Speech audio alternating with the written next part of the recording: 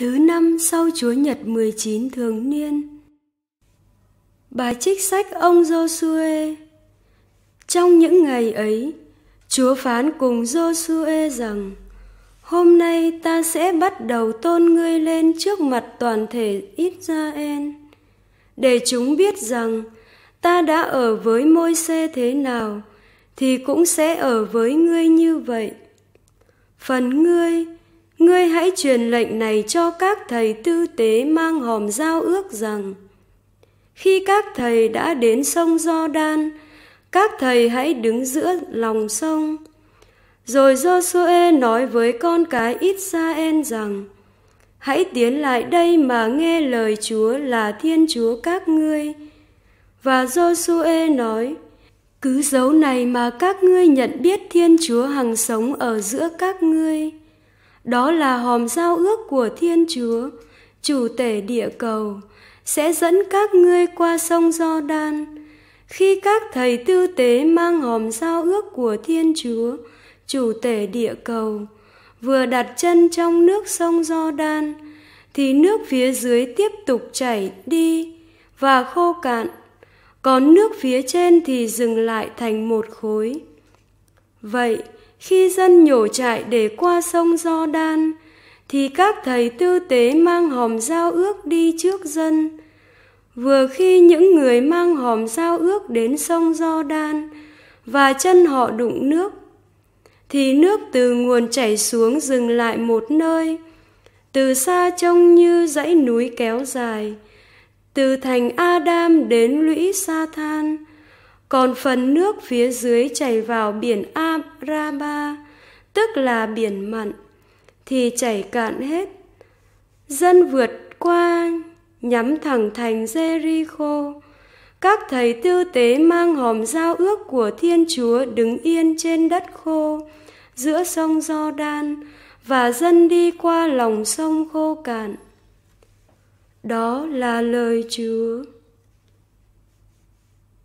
Hồi Israel ra khỏi Ai Cập, nhà Gia Cóp thoát xa dân mọi, Juda đã trở nên cung thánh, Israel biến thành vương quốc của người. Alleluia! Hồi dân Israel ra khỏi Ai Cập, nhà Gia Cóp thoát xa dân mọi, Juda trở nên cung thánh, Israel biến thành vương quốc của người. Alleluia. Biển khơi xem thấy và chạy trốn, do đan thì bước lại đằng sau, núi non nhảy trồm lên như bầy dê đực, các ngọn đồi như đàn chiên con. Alleluia. Biển ơi, can chi tới ngươi mà chạy trốn, do đan ơi, can chi mà bước lại đằng sau, núi non, can chi mà trồm lên như bầy dê đực, các ngọn đồi như đàn chiên con. Alleluia. Tin mừng Chúa Giêsu Kitô theo Thánh Matthew. Khi ấy, Phêrô đến thưa cùng Chúa Giêsu rằng: Lạy thầy, khi anh em con xúc phạm đến con, con phải tha thứ cho họ mấy lần? Có phải đến bảy lần không? Chúa Giêsu đáp, Thầy không bảo con phải tha đến bảy lần, nhưng đến bảy mươi lần bảy. Về vấn đề này, thì nước trời cũng giống như ông vua kia muốn tính sổ với các đầy tớ. Trước hết, người ta dẫn đến vua một người mắc nợ mười ngàn nén bạc. Người này không có gì trả nên chủ ra lệnh bán y. Vợ con và tất cả tài sản của y để trả hết nợ.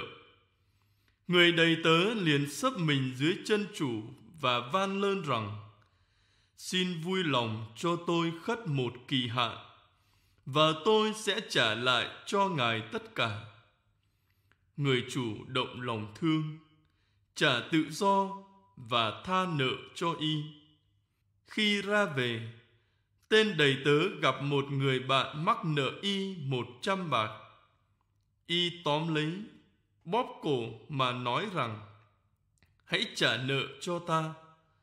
Bấy giờ, người bạn sấp mình dưới chân và van nơn rằng, Xin vui lòng cho tôi khất một kỳ hạn, tôi sẽ trả hết nợ cho anh.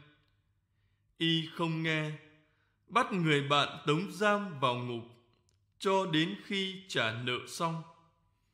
Các bạn y chứng kiến cảnh tượng đó, rất khổ tâm. Họ liền đi thuật lại với chủ tất cả câu chuyện.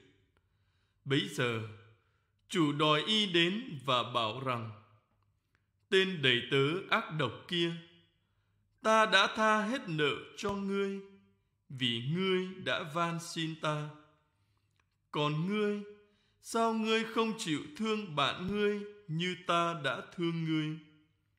Chủ nổi giận, trao y cho lý hình hành hạ, cho đến khi trả hết nợ.